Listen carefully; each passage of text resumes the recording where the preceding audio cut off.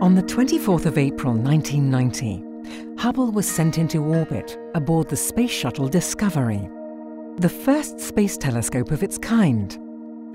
Now it's celebrating its 26th anniversary.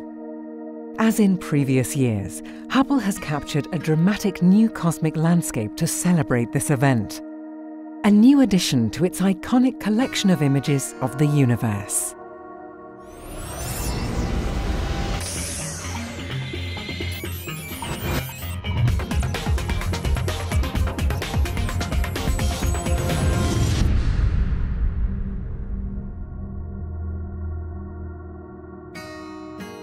In 2015, Hubble observed the dazzling star cluster Westerlund 2 to celebrate a quarter of a century in space. An image which was unveiled in a simultaneous celebration in science centres and museums across Europe.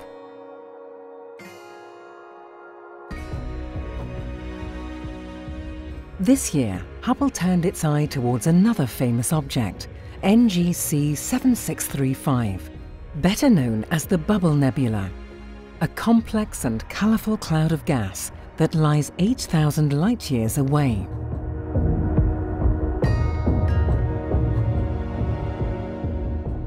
Although it looks delicate, the 10 light-year diameter bubble offers evidence of violent processes at work.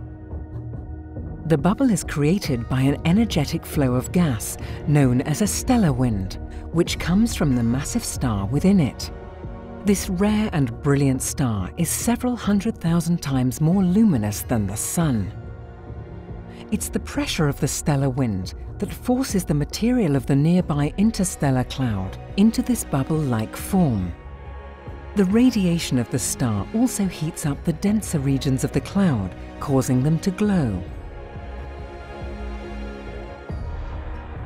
But it is this cloud that can also one day put an end to the bubble's expansion. For now, the constant pressure from the star is still overpowering the cloud's resistance, and the sphere continues to grow at more than 100,000 kilometers per hour. This is not Hubble's first peek at the Bubble Nebula.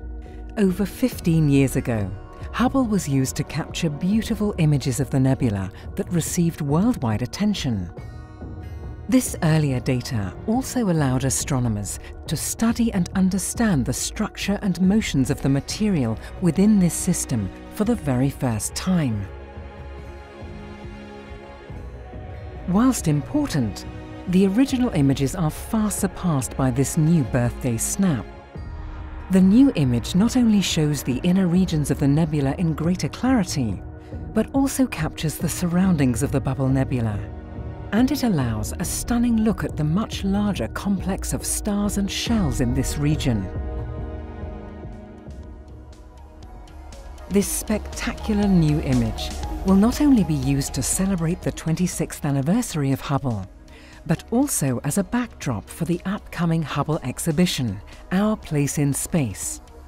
From early 2017, this exhibition will travel to cities across Europe to bring Hubble to a space near you.